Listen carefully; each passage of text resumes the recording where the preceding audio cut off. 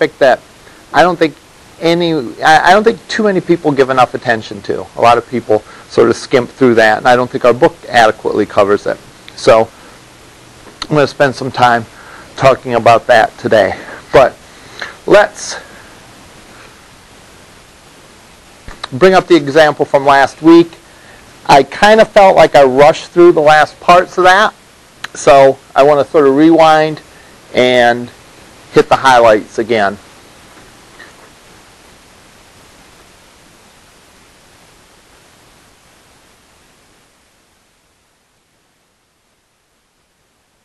What are all the different ways that browsing a website on a mobile device is different than um, browsing it on a computer?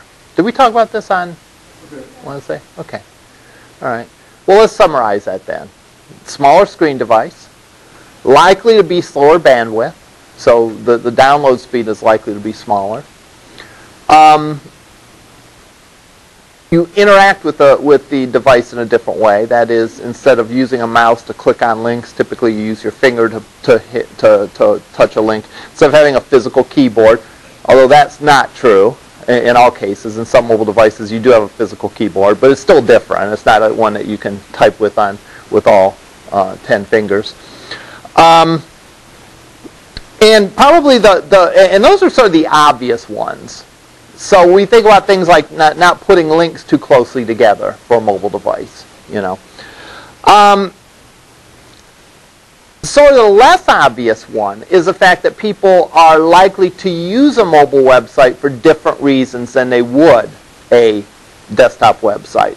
In other words, some people, you know, surf the web and go to sites they like, you know, and browse it for the fun of it. Um, and, and they can sort of get immersed in the site. If they're a fan of a particular movie or TV show or whatever, they'll spend a long time on a site devoted to that. Typically, that's not what you get when, you, when you're browsing a site via mobile device. Typically, with a mobile device, you're very focused and looking at getting the answer to something. All right? So, simplicity is the key in mobile web development. All right? That's why we're taking what's called a mobile first approach. Simplicity ought to be important in even a full-blown website, right?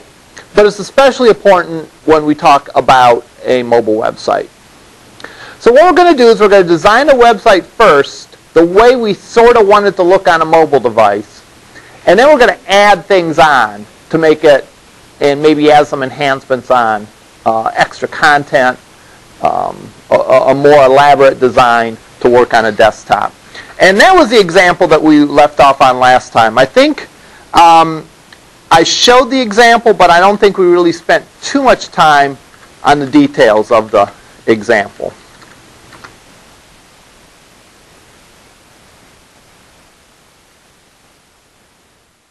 The main principles at work when we talk about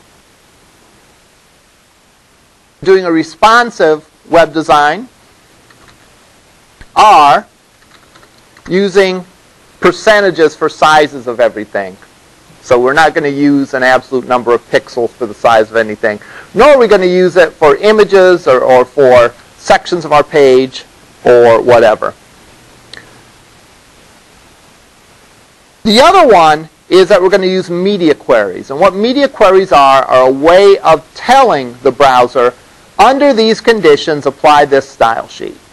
And media queries go back to the beginning of CSS. Some pages have different print style sheets than if you view them on the screen. So if you view it on the screen, you get one thing, maybe a little more elaborate design. But if you're printing it out, they may eliminate like background images or whatever, just because you, those don't really come off very well on the printer. So let's go and look at the example we had from last time. This is called progressive enhancement because you start out with the base and progressively you add stuff onto it. And you Okay. Thanks. And we're just going to do it for two sorts of devices. We're just going to do it for a mobile device and for a desktop device. But actually, you could do progressive enhancement where you make a tablet look different than a mobile phone and a tablet look different than a desktop device. It's just the same sort of thought process that's maybe extended a little bit, but we're going to do a simpler case. So in this example, we see we have our page.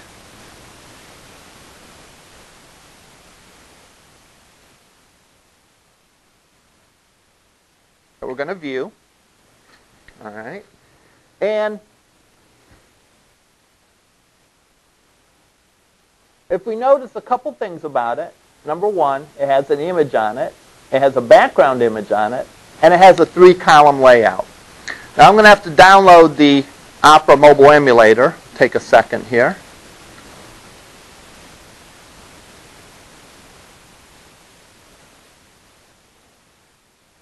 So I can test this and see what it's going to look like on a mobile device.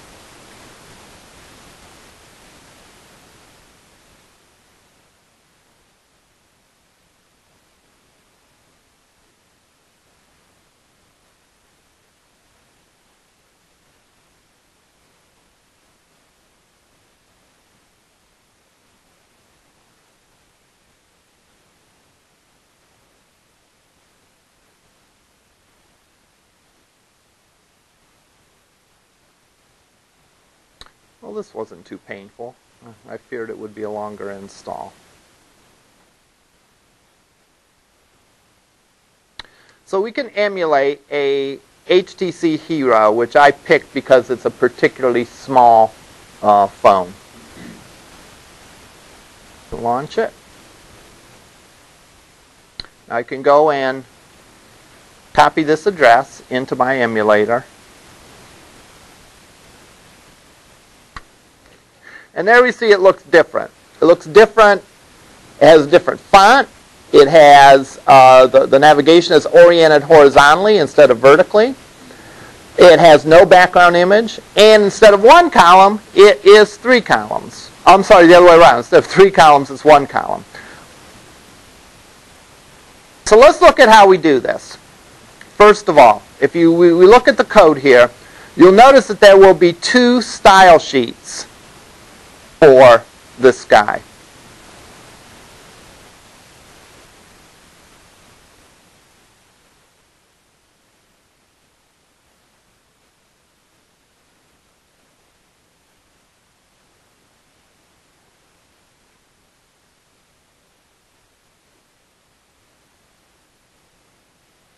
Actually, I lied. There's actually a third style sheet for this guy.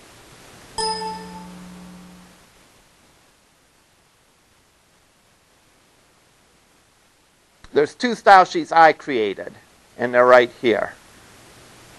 What's the third style sheet? Well, that little Firefox style sheet that I talked about and that's in the book to make um, older versions of the Firefox browser uh, handle HTML5 a little bit better. This probably should be at the top. So actually it should be the first style sheet instead of the last style sheet. Notice also we do something a little bit different for IE, previous, and 9, and we'll hold on to that thought for a minute. But if you notice we have two style sheets here. And the question might be, well, if we have two style sheets, which one of them applies? And the answer is both of them apply. All right? Now, if you notice the first style sheet, there's no media query associated with it. It's just like the style sheets that we have done so far in this class previous to this section.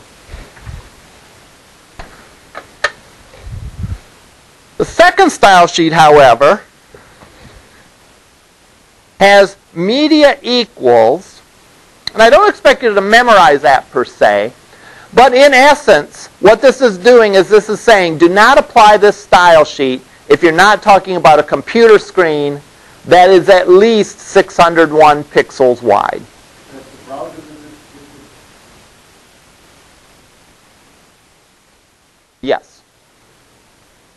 Yes. The,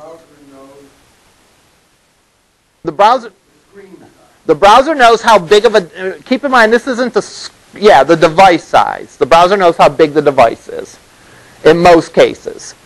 And we'll, we'll back up and talk about that in a second. The first style sheet always applies.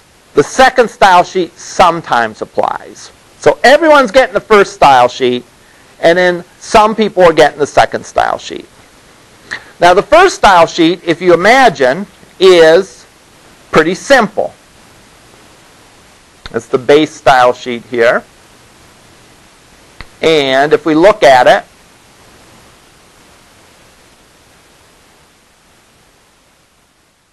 we set a font for the body.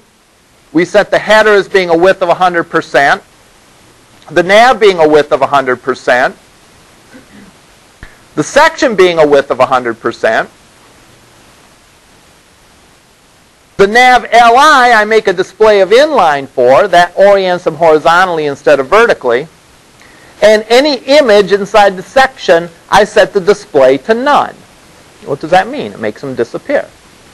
So if we look at this code here,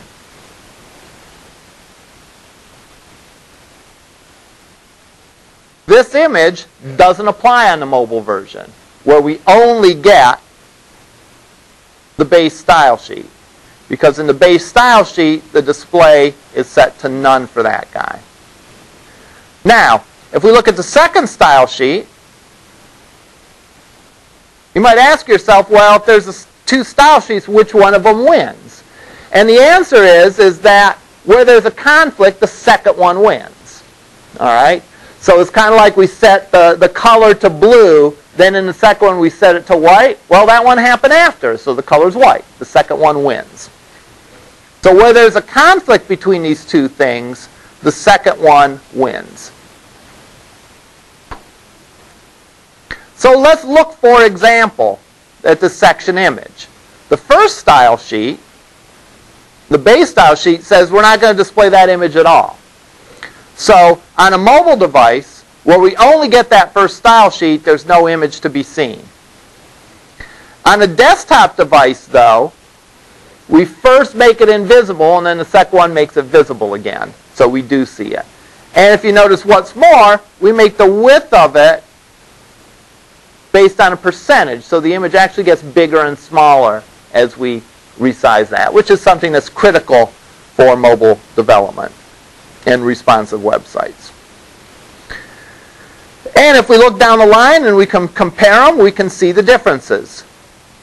The base, which is the mobile version of it, simply has a font family of Helvetica and so on. The body of the full version, however, has a different font and it has a background URL. That's why in the browser we get the little pattern in the background, but in the mobile device we don't get a pattern. All right? Oh, what's responsible for the yellow line? I have a rule in here in the base that says any section has a border that's yellow.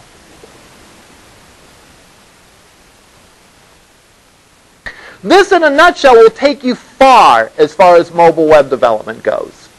This isn't every trick of the trade, as they say, and there's more to it. We have a, we have a complete class on mobile web development where we get into more of the in, uh, uh, intricacies of it.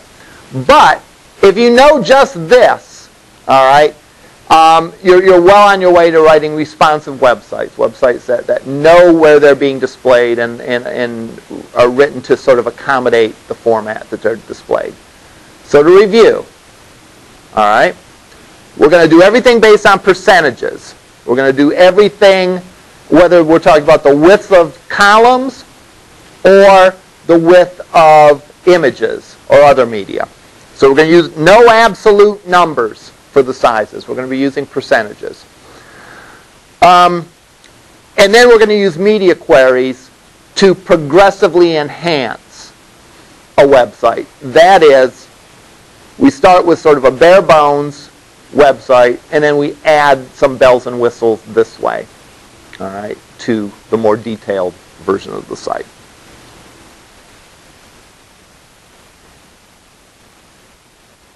All right.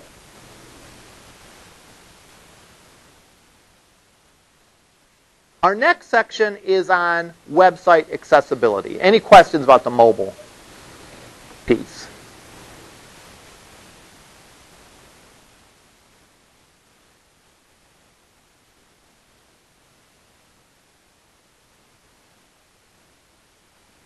Um, I typically will say if that's a consideration, because again, that's not really the focus of this class. Um, it would be good to practice your skills as far as this goes. So I would suggest, especially given the, the Opera mobile emulator is free, at least take a look at it on the emulator, all right, and, get a sense of, of what it is. Um, on some assignments, I probably will make that a requirement. It's probably not like a top requirement for uh, the rest of them, though. All right.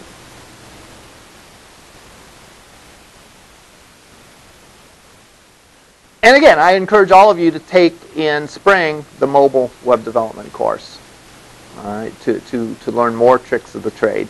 You know, if anything, mobile browsing of the web is going to become even more popular. All right, I mean, it's already uh, pretty popular. I've seen different estimates about like when folks feel that um, mobile browsing of the web will actually overtake um, desktop browsing. All right. Okay, accessibility.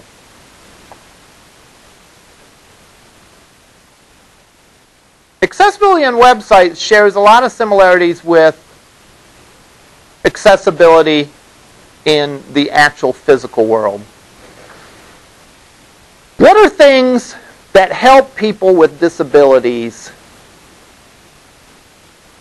work through the rest of the world, work through the world and, and, and do the things that people without those disabilities can do? What are some things that, that can help those folks? Yes? Ramps, wheelchair ramps, all right? Elevators. Braille uh, numbers on doors. Braille numbers on doors. Anything else can help. Wheelchair, right. I say you did a good job talking about like how the building design can accommodate that, but let's not forget the fact that there's all sorts of assistive technology as well. Right, the width of the door to accommodate the wheelchair. All right. In general, if you talk about real life, and this applies to the web as well, all right, um, there, there's sort of two things in the mix here um, that, that determine or, or that help people with disabilities just navigate through life. And those two things are assistive technology so that's things such as screen readers. Um, yeah, in, in webs it's screen readers. In real life it's things such as wheelchairs. And a blind person's cane is assistive technology. All right? Uh, closed captions on, um, on movies, I suppose, is an assistive technology. All right? So,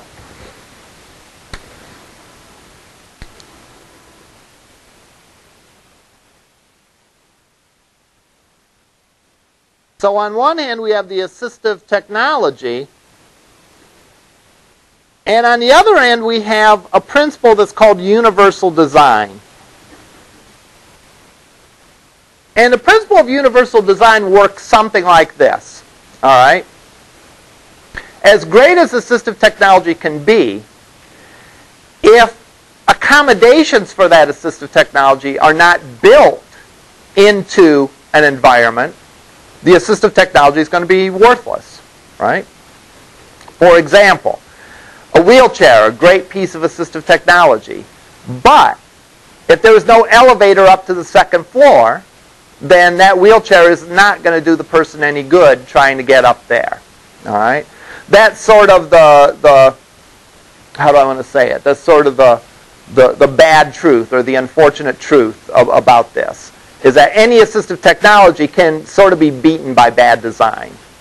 All right? You could have a great wheelchair, well if, the, well if the door isn't wide enough to let the person in. All right? Again, that assistive technology won't do any good. Now, the notion of universal design is like this. All right? A lot of people would say, you know, this is designed for disabilities and all that. Not really. The notion is universal design. And the notion of universal design states this, that accommodations that we make for people with disabilities can often help people that don't have those disabilities. Or at the very least, doesn't really get in their way. All right? The second one's a little simpler to talk about, so we'll, we'll talk about that first. For example, Braille on the door. There, there's Braille numbers on the door, so if someone is blind, they could tell what room number this is. All right? That helps someone that's blind. Does that affect you at all who is not blind? No. You might not even notice it's there. All right? Likewise, in an elevator, they have Braille, or in all sorts of devices, they have Braille.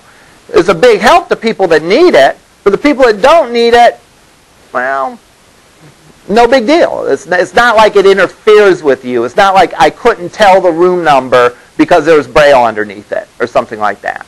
So at the, the worst case scenario is most of universal design doesn't really get in the way of people, or the notion of universal design is that what we do for people with disabilities doesn't get in the way with people that don't have those disabilities. And it may also benefit them. Can anyone think of a case of, in an actual physical environment, of something that's done for people with disabilities that can help people that don't have those disabilities?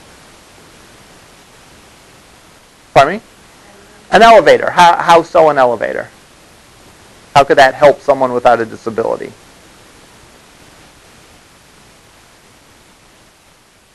Pardon me? Right. Yeah. If you're in a hurry, all right. If you're lazy, all right. If you're carting around like I do sometimes, a cart of media items to take to my multimedia class, and it's kind of hard to get it going down the steps. Actually, it's easy to get it down the steps. It's, it's, it's hard to get it down the steps without breaking anything. All right. Um, if if I had, let's say, a, a, uh, a broken leg, all right, a broken leg doesn't mean I'm disabled, but for the period of time that I'm on crutches and a cast, that assistive technology is going to help me. So we can think of all sorts of cases with universal design. All right, automatic doors. Well, that helps people that are in a wheelchair, sure, but that also might help someone whose arms are full. All right, someone pushing a stroller, all right, for example, and so on. So that's the idea of universal design. The things we're going to do are going to benefit both people with disabilities and people that don't have those disabilities. Or, at the very least, it's not going to be a hindrance to anyone. What disabilities affect people accessing the web? Let's, let's list some of the disabilities that can affect a person's experience accessing the web. Vision is the most obvious one, right? The web is a visual media. You know, we look at our screen and we see stuff. We see all kinds of stuff. And so vision is probably the most obvious one. I will say that a lot of people, when they consider accessibility, that's sort of all they think of. Is they think, well, you know, how can we make our sites accessible for the blind? And we'll talk about how we can do that um, in a minute. All right, again, accessibility is uh, largely assistive technology plus universal design. What's another disability that would affect someone's ability? Yeah. Um, any number of, we'll call this motion control or motor, motor control. All right. And that would include things like arthritis. Um, what is that? Re repetitive stress injury. What, uh, carpal tunnel. All right. Um, that would be that. People with certain neurological uh, disorders. Someone that has Parkinson's whose hand shakes a little bit uh, would have that. Um, and a whole slew of other um, disabilities that, that relate to the ability to move a mouse around or type on a keyboard. That would be another uh, disability. What's another one?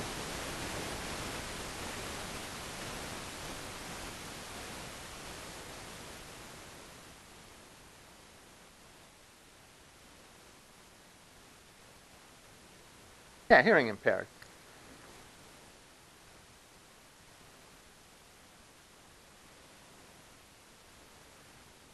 Keep in mind when we talk about this, you know, blindness is probably the most dramatic case of this.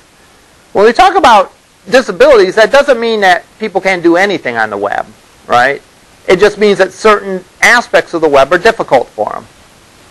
Just like someone with a wheelchair, you know. Someone with a wheelchair, once they get in this classroom and get in position, you know, they're a student like everyone else, and they can do as well as everyone else. They just need a little bit of special accommodation to get over some of the hurdles that might be in their way just to make it to class. Well, someone that, that is hearing impaired, that doesn't mean that they can't access the web at all. It just means that certain content is difficult for them. Other examples of disabilities. I think we covered probably the most obvious ones, but there's a few a little more subtle ones as well.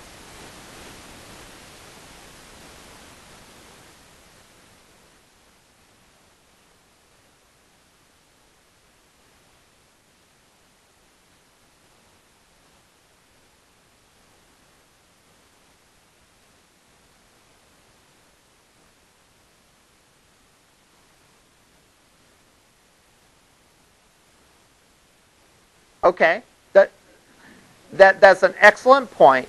Um, language.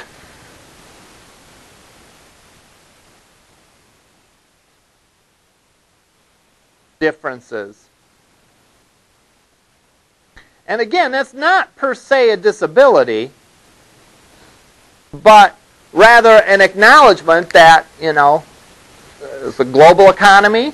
You know, if you're running a business, your goal is to reach as many people as possible. There are people that live in the U.S. that um, speak other languages. So even if you're not talking about an international website, uh, you might want to accommodate those people. Um, that's an excellent point. Um, I would I would argue that it sort of fits in here. All right, because sort of the same principles apply. In other words, what do I care if there's a link that says click here for Spanish? All right. I don't speak Spanish, but that's okay. It doesn't bother me that there's a link there that I could click and get a translation for it. So it does sort of support the same goals of universal design. All right. Um, there are assistive technologies for this as well. Uh, unfortunately, the assistive technologies aren't very good. What I'm thinking of is like Google Chrome's option to translate a page. You know, translation of a page is done in a very brute force way. And it's funny because I've communicated with people, you know, uh, that, that speak English and another language, and they always laugh at, like, if I try to translate something in the other language because it doesn't, like, do it right. It sort of does it right, but, like, not really. It loses a lot of the meaning. Okay, simple words, short sentences. There's another aspect of language, though, that, that comes into play that, that I would count, count as a disability. Any thoughts? Dyslexia, exactly. All right. What is dyslexia? That's something that, that is, is not really completely understood by people.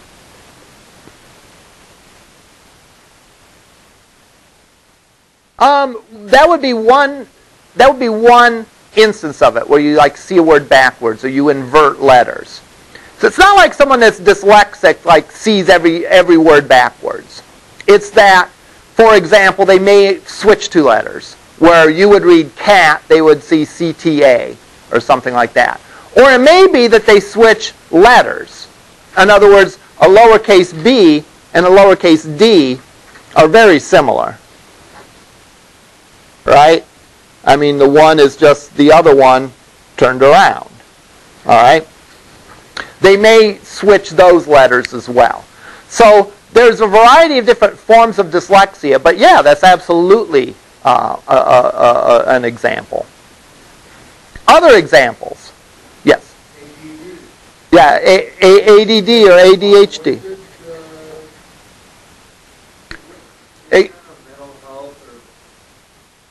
Yeah, any sort of cognitive disability would fit in there as, as well. But ADHD is a good one, right? Um, there's a there there's one actually. Um, if you ever play video games, you might see warnings at the beginning of the video game about yeah about seizures and epilepsy. Certain sort of screen flashes can actually trigger seizures, and um, well, we'll talk about the implication of that um, going forward, but that, that's another one. Um, there's two other, uh, there, there, there, might be more, all right? These are, I think, the big ones, if my memory serves. I do have a PowerPoint presentation uh, that I gave to faculty several years back that, that's online. Um, I, I don't give it in class because I don't like to give PowerPoint presentations. All right, I, I decided I'm going to do my best to avoid ever giving a PowerPoint presentation again for the rest of my life. All right, all right. Um, but there's two other ones that, that come to mind. One is, or and I don't know if they, these are separate or these kind of catch-all categories, but age-related conditions. Another way is sort of milder versions of all of these. So, for example, an older person may not be blind, but they probably also don't have the best eyesight. You know, you know, I definitely have, have that case. An older version may not be deaf, but they probably don't have the best hearing. An older person may not have dramatic motion control issues, but they might have some arthritis, some soreness, difficult to get in position a mouse in a very precisely, and so on. All right? An older person may not have some of those cognitive disabilities, but might be more easily distracted or have trouble focusing and all that. All right? Likewise, there's milder versions of these, even whether you're talking about younger or older pe- person that, that uh, comes in uh, to play. Again, you may not be blind, but you might have bad vision even if you're a younger person. You may not be blind, but you might be colorblind. All right? And so on down the line. There's also situational conditions that are like these.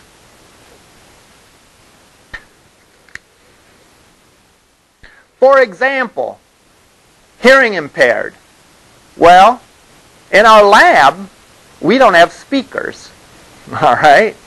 So, while, none of, while, while, uh, while a person may not be hearing impaired, in that environment, unless you brought headphones with you, you can't hear what the, what, anything that's said.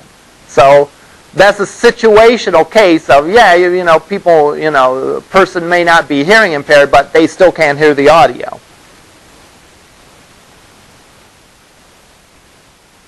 Motion control. You may not have some permanent condition but you might might have broken your arm. All right? You have your arm in a cast. And so on with all of these where there's sort of situational things that cause this.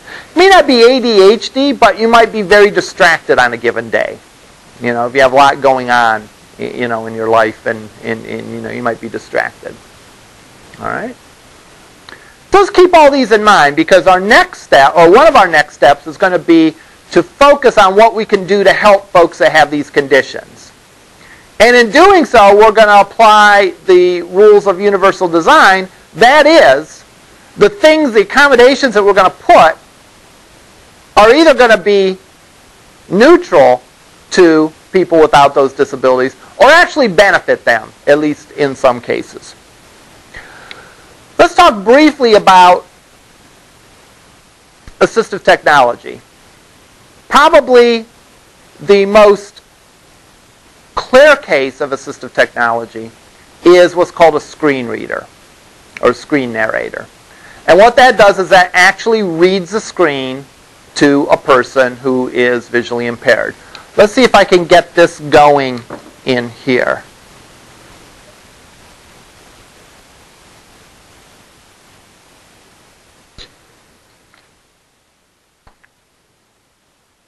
Let me open up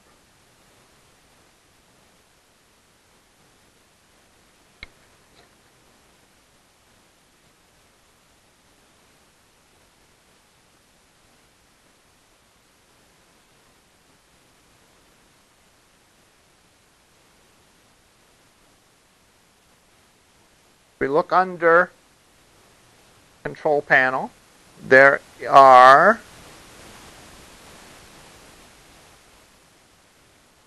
so every version of Windows renames everything and puts it in a different place. Ease of Access Center. Always scan this section. Let's go and let's start the narrator.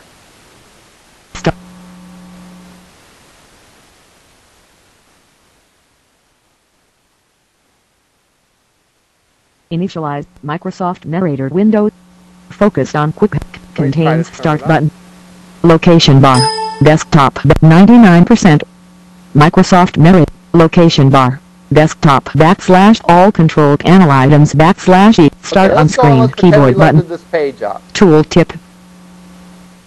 Set up high contrast button. Tab. Start magnifier button. Start Narrator button. Responsive Web Design Location Bar Desktop backslash all control panel items backslash set up High Contrast button Tab Tab Start Magnifier button Tab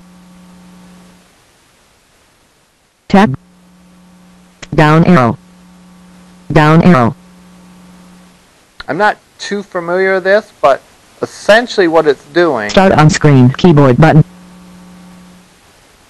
is it is Enter. narrating the screen. Enter. Enter. Caps lock on. And certain keys Caps lock off. do certain things that Start I magnifier button.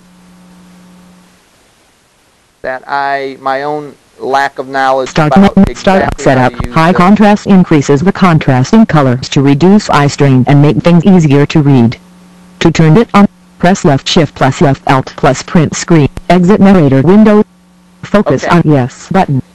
Contains yes button. No button. Are you sure you want to exit narrator?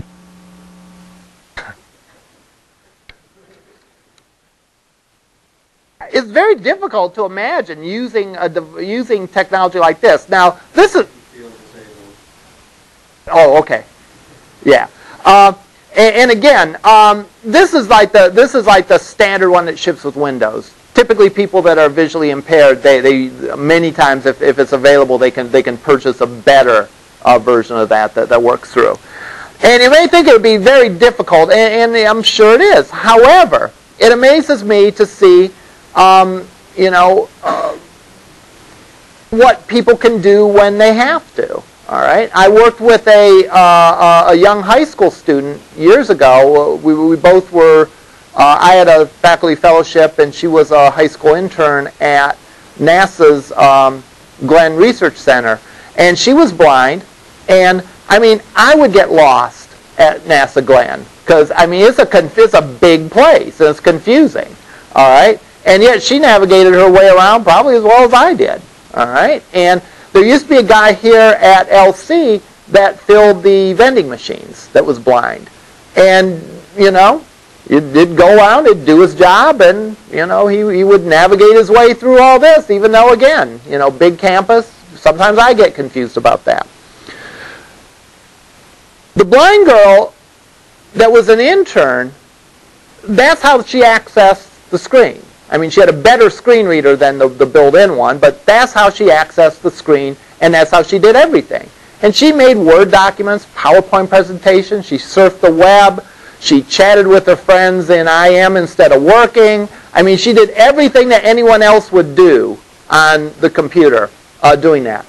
On occasion, she would call me over and ask me what, the, what her screen said because I got confused or the page was poorly designed or something like that. So once in a while, I mean, we're talking about maybe once a week, maybe not even that. And it was, it was odd coming in because I'm sort of Uh, if you haven't gathered by now, sort of a late riser. You know, I dash in like a minute before nine here uh, uh, to class. So I would always get in later than her. And when I came in, the office would be dark. The office room would be dark.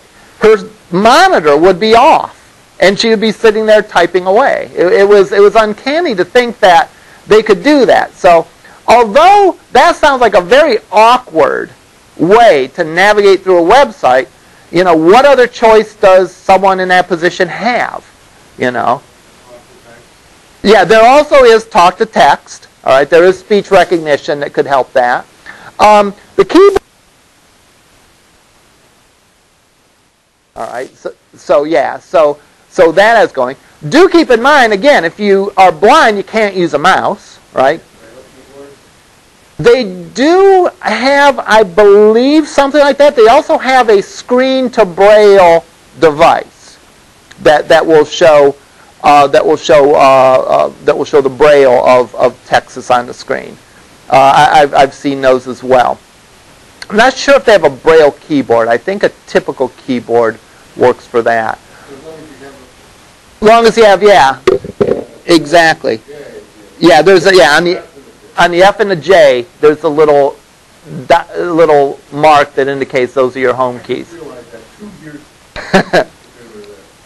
well, I, I I can't type very well at all. So, but yeah, for people that touch type, you know, they look they're just typing away um, and, and going. So that's an example of assistive technology for for that. Um, there are other examples. There is, for example, building the windows. And again, by no means are these the, the end all, be all, but there's a magnifier. I have a mouse that has a magnifier. Oh, yeah? That's cool. And what this does is this magnifies the screen.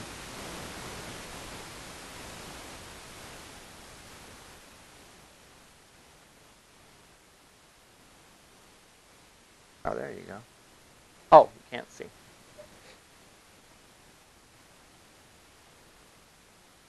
Let's.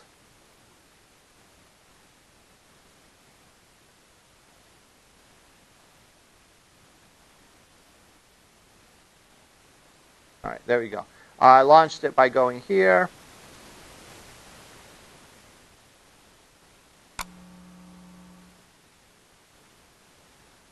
And again, you can go forward and backward.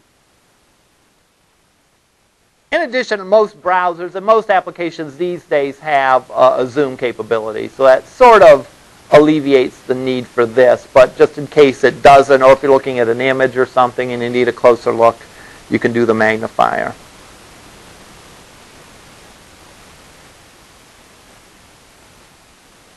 Mm-hmm.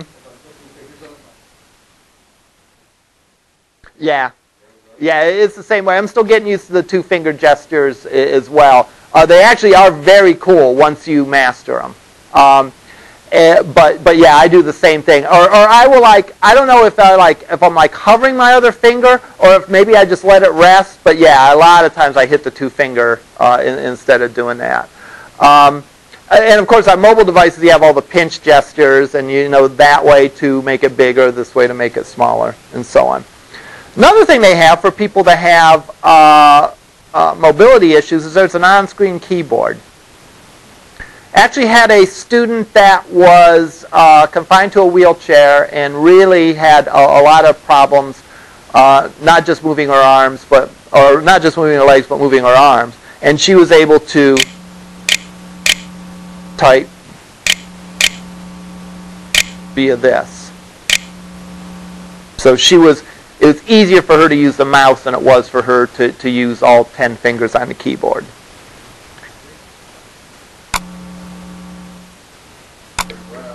Oh, yeah, right. Right.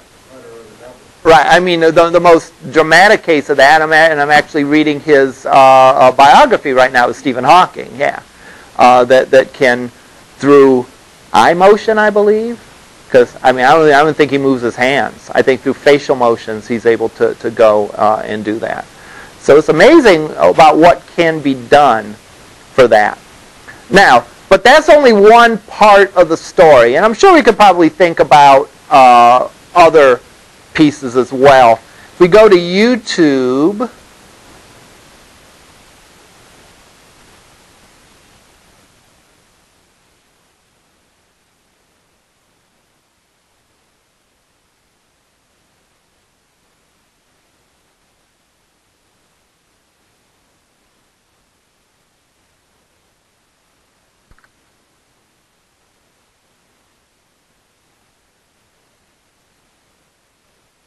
These ain't me. Oh, here we go. There is here a closed caption. All right.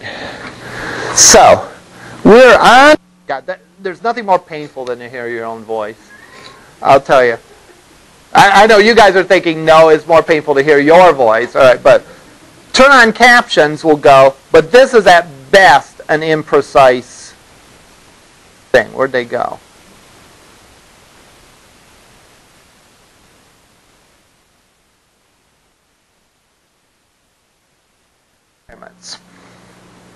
So, for example, where'd it go? All right. So, we're on to discuss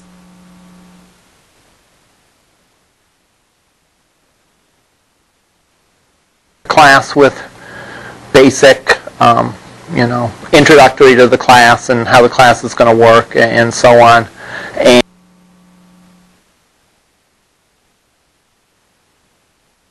and we'll then span the last half starting to get into uh, what makes for a Java application. What makes for a dollar application.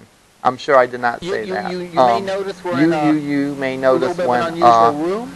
Uh, a little bit of an unusual room are lectures. YouTube. Um, that was room, not that gives room. you an opportunity if you gives you want an to review opportunity if you want to again, review you can something review again. it. You can if you're review in order to get out of town or town whatever, and you or whatever you need to miss a class. you can always class. just watch the video. You can always just So watch I- the video, post so. I post Usually the some, lectures get posted, usually you know, like later two step evening. Posted, by you know, later that evening. um, you by know, 10 typically o'clock.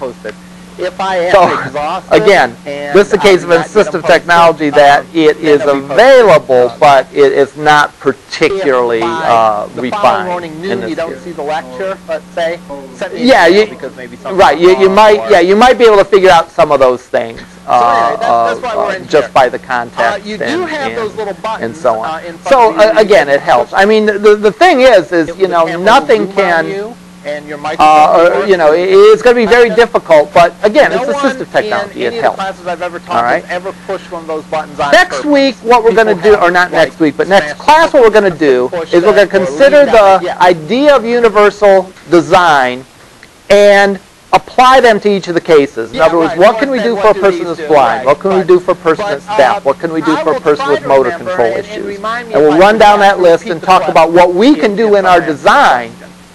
That Uh, can make those people's lives Let's start easier. taking Because again. I probably know about building designers, you know, got to make the, bo- the doors big enough for wheelchairs to fit through. Otherwise, the assistive technology of a wheelchair isn't going to do any good. Well, similar thing with with some of these uh, other disabilities as well. We have to do our part as designers too to accommodate these people's needs. All right, we'll see you up in lab. David Karpinski? Johnny Kincaid? No? Philip?